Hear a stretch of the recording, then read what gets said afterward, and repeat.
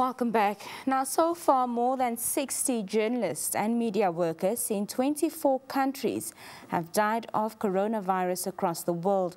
And the death of veteran ENCA cameraman Lungile Tom has brought into sharp focus the important work journalists are doing on the front line in the fight against the COVID-19 pandemic. Lungile became the first known South African journalist to succumb to COVID-19 on Wednesday morning.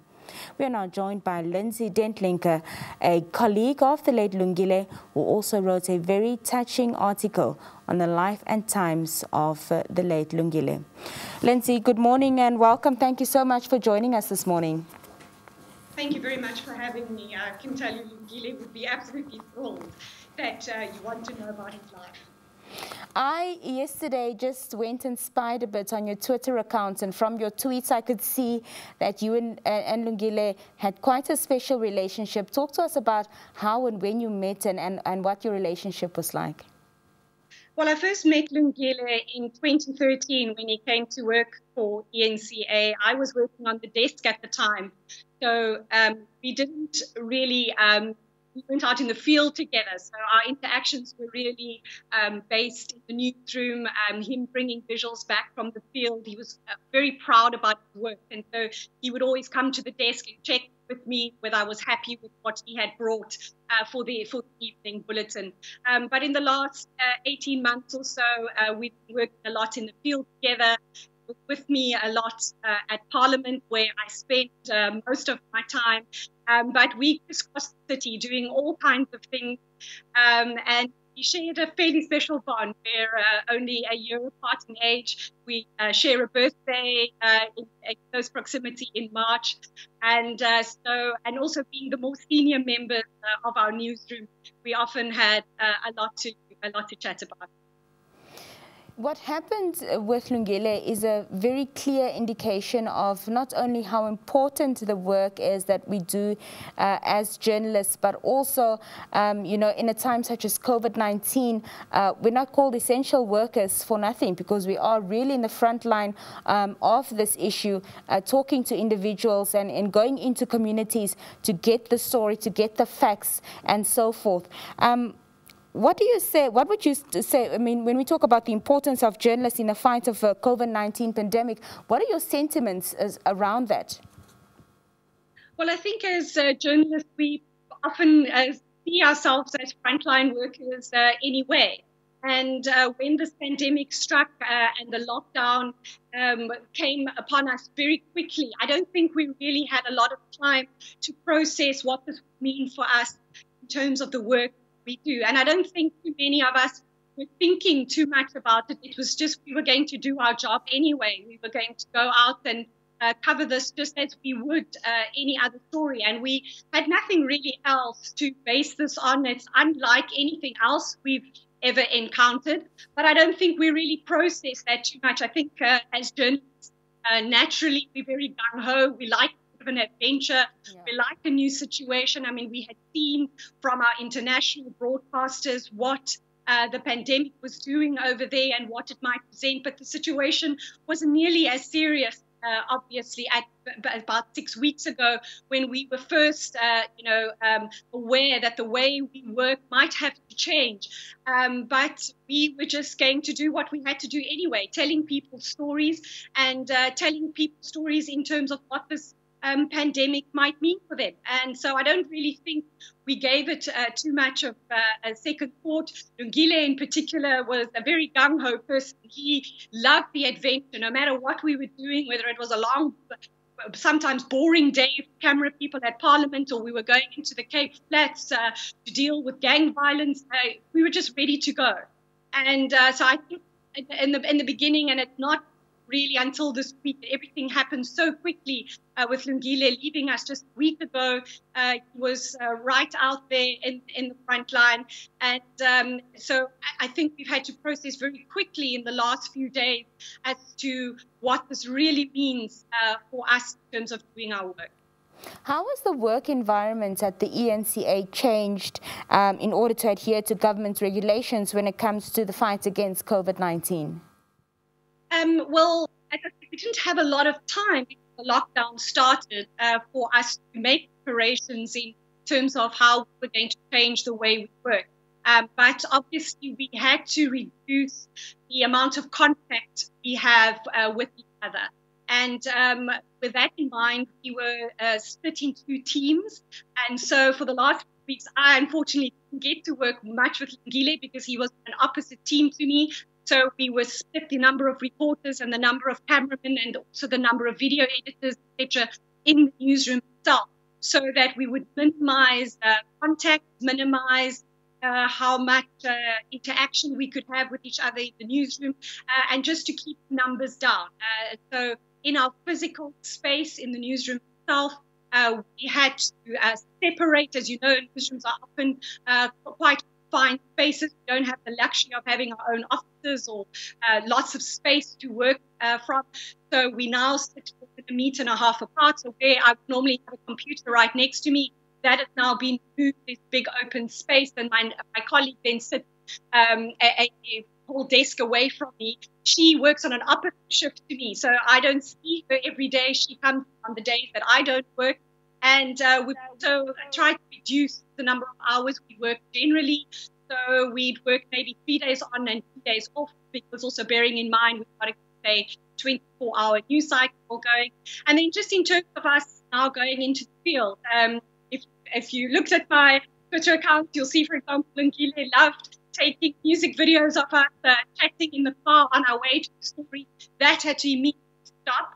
Uh, the cameraman uh, up front of the car and the and reporter now in the back, sitting in the back corner. We wear our masks in the car. We have sanitizers with us. We sanitize all the equipment, the microphones. And, uh, and uh, we've also had to um, be more mindful of uh, just sticking a microphone in somebody's face when we're out uh, in the field. Uh, we now have to keep our distance. We've had to change uh, the kind of equipment that we use to uh, interview people so that we stay far away. And of course, uh, where it's uh, where we go into areas that are densely populated, we are always wearing our mask if necessary, our um, gloves, and of course, when we get into the car, immediately we sanitize the equipment, sanitize our hands.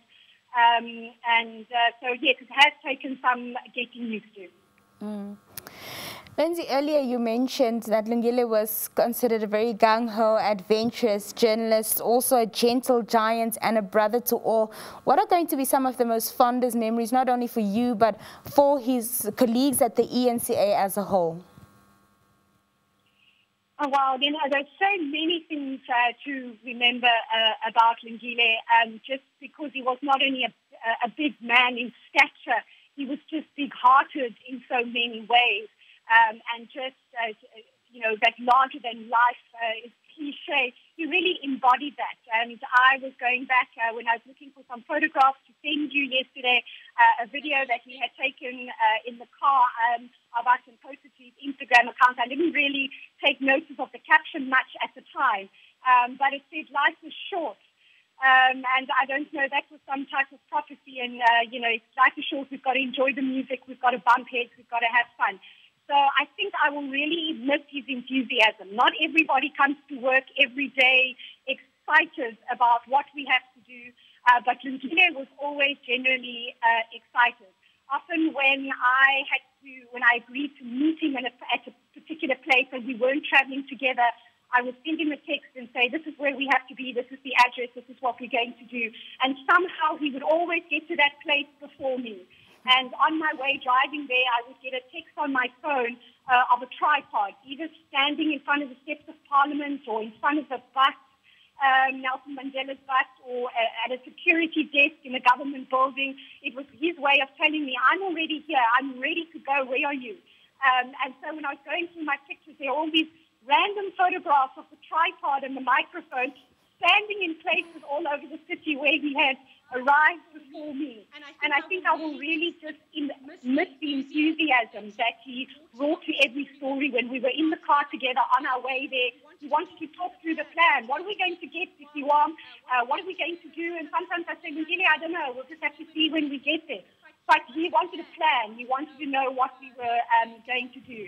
And um, my memory that I'm personally going to hold on to him for the rest of my career is that um, the first time I ever had to do a live casting on TV, I wasn't given much warning. Um, but Lungile was the guy behind the camera. And uh, he was quite upset that I was nervous uh, about what I was going to do. And I said to him, but it's so unnatural. I'm not speaking to another person.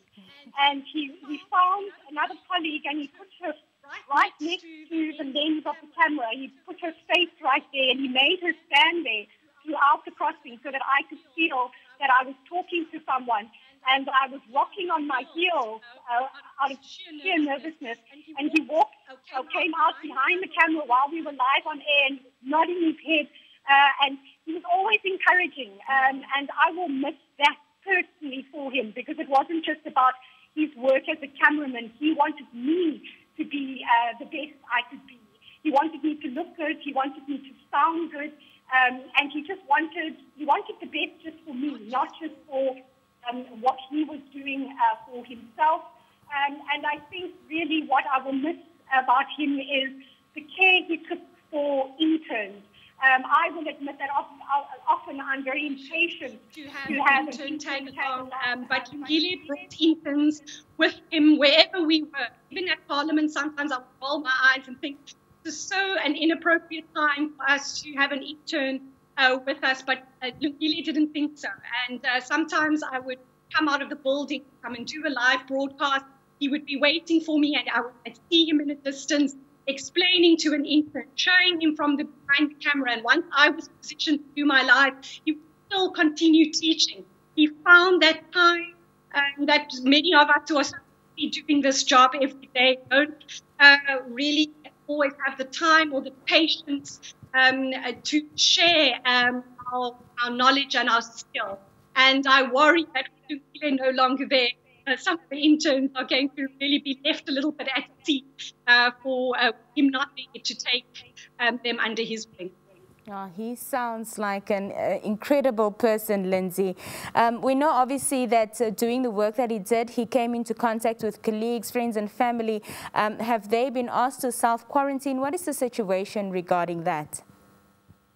So right now, Nina, we are all self-quarantined uh, since uh, Lungile passed on on Wednesday morning. We only found out a few hours before he died that he was in fact um, uh, tested positive for COVID-19. Since then, all of us have been asked to stay at home. Uh, some of my colleagues have gone for a test. Those who have worked with uh, Lungile on his last assignments, which were on Wednesday and Thursday last week, so they have gone for tests. I should point out that none of us are ill, none of us are displaying any symptoms uh, of carrying the virus. Um, and so, yes, his close family members, I know that his wife uh, is also waiting for her results. As far as I know, no one is ill, um, neither his children. Uh, so it's really just uh, a waiting game now as to what we will do next. I will, uh, for example, be uh, starting to work from home later today, um, but we will all not be in our office. It, it has been deep cleaned, sanitized. Uh, that has been happening quite often uh, over the last six weeks, but we had a really in-depth clean in the office and none of us are allowed to go there uh, for the time being. All right. Just in conclusion this morning, Lindsay, we know that with the lockdown, uh, there are strict measures around um, funerals and such. And I know obviously it would be incredible if all his colleagues could be there. But in, in, in the you know, in the event that this is the situation we found ourselves in now with this COVID-19 pandemic, how will the ENCA um, and close co uh, colleagues and, and friends that he made at work commemorate to the memory of Lungile? I think we've been doing that uh, ever since we heard that he passed on on Wednesday morning. We've all been chatting to each other. We're very close in the team in Cape Town, and particularly the camera people, the rest of the camera team, they are also Lungile's friends. And because he was a um, the, an older member of the newsroom. He took great care of all of them. That was the brother in him. And so they weren't just his colleagues, they were also his friends, and they used to hang out and socialize together. And so, um, because Lungile was so much about documenting his life, I can assure you he would demand that you send me a clip of this interview immediately um, so that he could post it on his socials. Uh, there are so, we have so many photographs and videos uh, to commemorate his life, and so we've really been sitting at home, messaging each other on our WhatsApp group, uh, going through our photos, uh, reminiscing about him, and so the tribute and uh, uh, has already started for him, and we're very well aware, as you point out, that we won't be able to say goodbye to him as we would uh, like. There are restrictions on the number of people who may attend the funeral. Uh, at this time, only around 50, and so we expect his family members to be present. We understand that his mother, who's, in the Eastern Cape, she's his only, um, uh, he's, he's her only son, and she won't be able to attend his funeral, sadly. Um, but we are already thinking of many ways uh, to commemorate Lungile once we get back to the office. Uh, we are going to decorate his space where he took up literally so much space in the newsroom. And uh, as soon as we can all get together uh, as a group, uh, I'm telling you, it's going to be a gathering with a lot of cake, a lot of red velvet cake.